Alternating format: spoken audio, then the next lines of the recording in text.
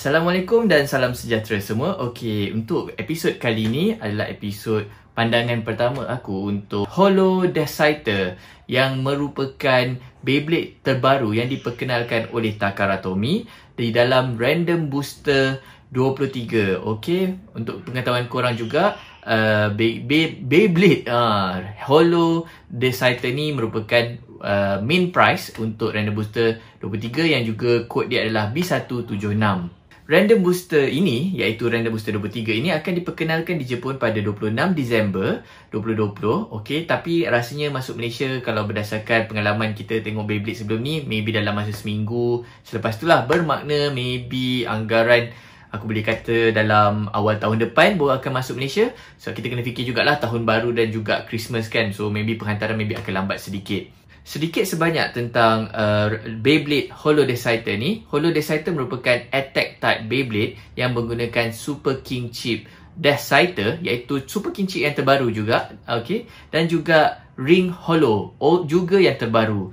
Um, Cases dia pula adalah cases 4A juga yang terbaru juga hampir semua parts dalam ni adalah part yang terbaru and 4A 4A iaitu 4 attack merupakan uh, jenis single bermakna kita boleh pakai dengan any forge disk yang terdahulu daripada sebelum ini. Untuk forge disknya pula forge disk uh, yang didat untuk Holodeck Deciter menggunakan forge disk 12 dengan disk frame X. Okey, disk frame X ni juga adalah yang terbaru di dalam Random Booster 23 dan tidak pernah diperkenalkan sebelum ini. Driver pula adalah driver yang terbaru iaitu driver High SL Dash. Okay, SL Dash sebelum ni dah pernah ada cuma kali ni ditinggikan sedikit macam driver sebelum-sebelum ni. So basically dia dah uh, dia naik tinggikan sikit so dia diberi nama sebagai High.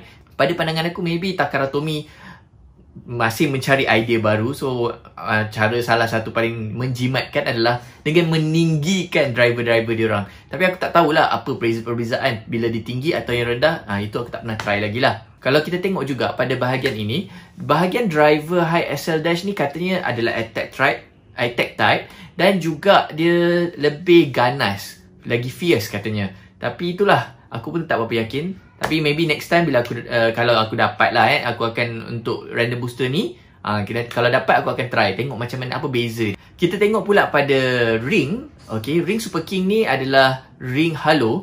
Ring hollow ni dia agak tak balance kalau korang tengok. Ha, kiri dan kanan dia lain sikit kan. Ada part tu macam ada part yang korang nampak hitam tu kan. Ha, ada part tu dia macam bergigi sikit. Ha. So tapi kalau korang terbalikkan pula uh, uh, ring ni uh, bahagian belakang dia ada besi di bahagian yang bergigi tu. So aku rasa Beyblade ni uh, apa ni uh, uh, ring ni agak pelik sikit. So aku tak tahu dia punya performance tapi kalau korang tengok juga pada video perlawanan contoh bila kita lihat perlawanan antara Holo Deciter dan juga Holo Valkyrie yang ditunjukkan oleh Takara Tomy sebelum ini kita boleh tengok nampaknya uh, Holo Deciter ni nampak lebih ganas dan boleh sampai burst kan Holo uh, Valkyrie. Nampaknya uh, dua benda main peranan di sini. Sebab kita tak pernah test iaitu first kita kena test dulu um, Beyblade ni uh, pada stadium yang lama stadium biasa dan juga pada Dash Bay Stadium. So kita nak tengok apa dia punya perbezaan.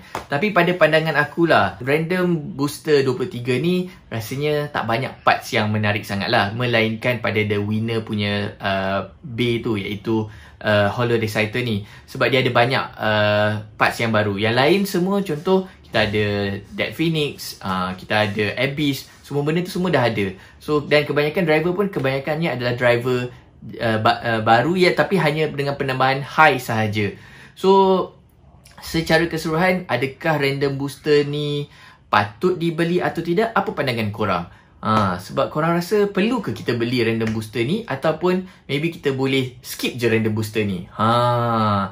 Untuk mereka yang belum like atau subscribe channel Writer Extra make sure korang like and subscribe and and jangan dilupakan juga untuk siapa yang belum submit uh, uh, combo untuk base trick challenge masih berpeluang. Make sure korang berikan korang punya uh, combo di dalam uh, video base trick challenge nombor 5 okey? Itu yang terkini. Sekian saja untuk video kali ini.